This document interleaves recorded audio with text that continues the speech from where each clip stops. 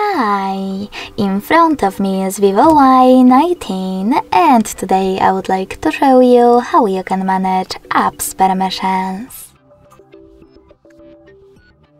Begin by going into settings and scrolling all the way down right away to access applications and permissions.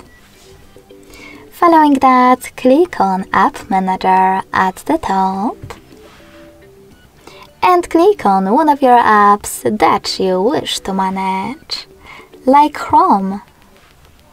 Finally, you can access permissions over here and by clicking on green switcher next to one of those features, deny your app access to it.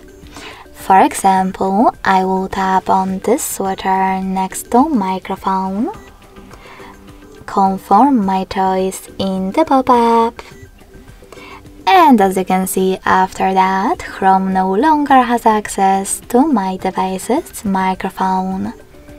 If you wish to allow it instead, click on the same now grey switcher. Thanks so much for watching. If you enjoyed this video, don't forget to leave a like, comment and subscribe. Bye!